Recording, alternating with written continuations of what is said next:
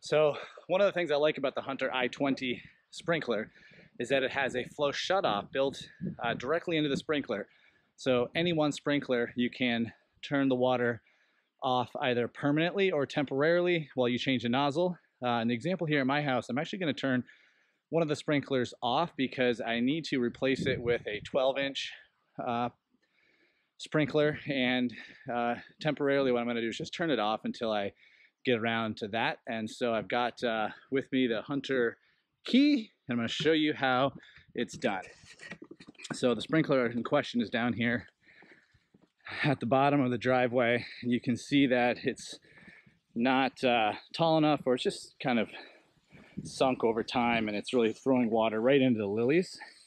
So what we're gonna do is clean off the top.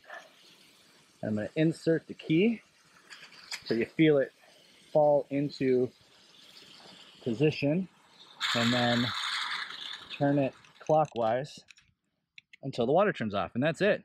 So the sprinkler will pop up and down, but no water will come out. And this planting bed here is actually getting hit by two other sprinklers. So it'll be okay for now. And again, that's the reason I like the i20 because it's got the built-in flow shut off, which makes it really easy and convenient to change your nozzles and control the flow of water all the time.